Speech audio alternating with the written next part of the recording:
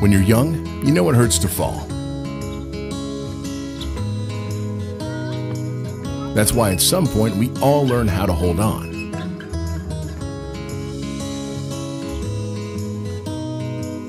But somewhere along the way, some of us forgot how important it is to hold on.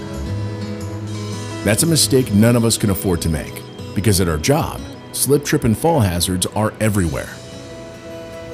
We need to acknowledge that an average of 400 longshore workers a year in the U.S. alone won't make it to work the next day as a result of a slip, trip, or fall injury.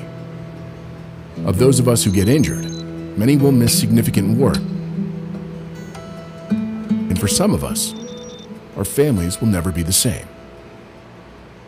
This isn't a wake up call. This is a life changing call. There are people in our lives that love us and that we love. They rely on us, people who need us to hold on. Like any time you enter or exit a job site, hold on. Take a minute to assess the situation for hazards. Ask yourself do you have on the appropriate footwear for the job that day and the conditions at hand? When you come across obstructions on a ship deck, in a yard, or on a dock, can you safely navigate or work in an area where there are housekeeping issues? Or can you take steps to clear the situation before beginning your work or for the next guy?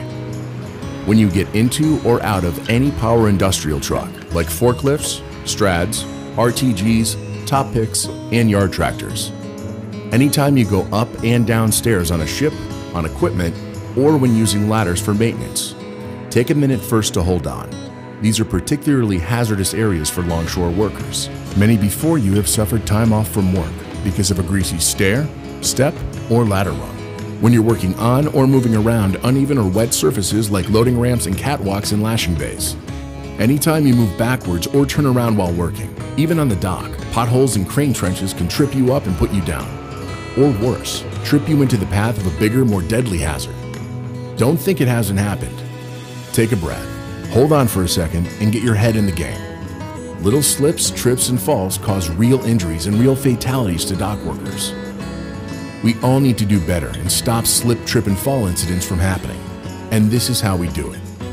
Remembering the first safety lesson we all learned. When you take that extra step to hold on and work safely, you hold on to the things that matter. The people who hold on to you.